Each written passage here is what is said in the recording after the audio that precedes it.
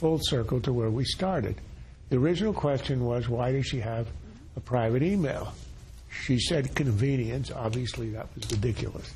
She was carrying around a whole lot of devices. It was obvious she was hiding something. And think about it. She set it up in 2009 before becoming Secretary of State. So, so she anticipated having exchanges that she would not want anyone to see. So we've been asking ourselves on this set for a year almost, what exactly didn't she want people to see?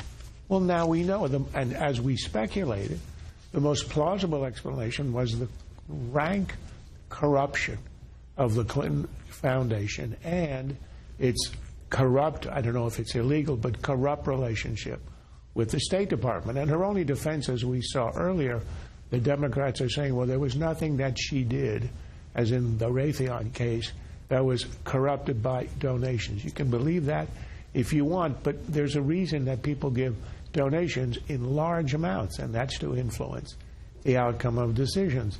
So this we're getting unfolding to us exactly what she anticipated having uh, to hide, and it is really dirty business.